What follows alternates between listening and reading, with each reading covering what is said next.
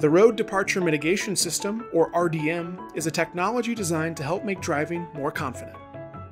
RDM uses the windshield mounted camera to scan for lane markings, the pavement edge, and oncoming vehicles. The system starts monitoring when the vehicle is going between about 45 and 90 miles per hour on a straight or slightly curved road, the turn signals are off, and the vehicle is not accelerating, braking, or being turned.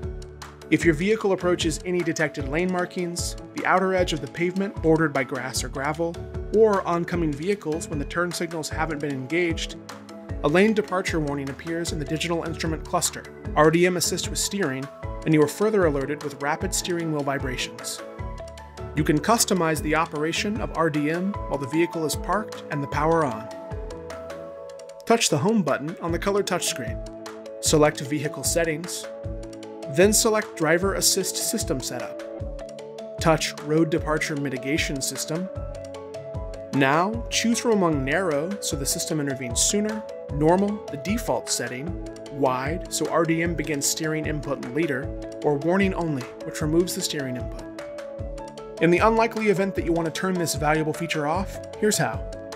Use that right side selector wheel to choose safety support in the digital instrument cluster. Rotate the wheel until the RDM symbol is highlighted and press in. The check mark next to the RDM symbol will go off and the symbol will turn from green to gray, signifying that the system is off. RDM will remain off until you turn it back on using this procedure. See your vehicle's owner's manual for even more details. You can download one at mygarage.honda.com.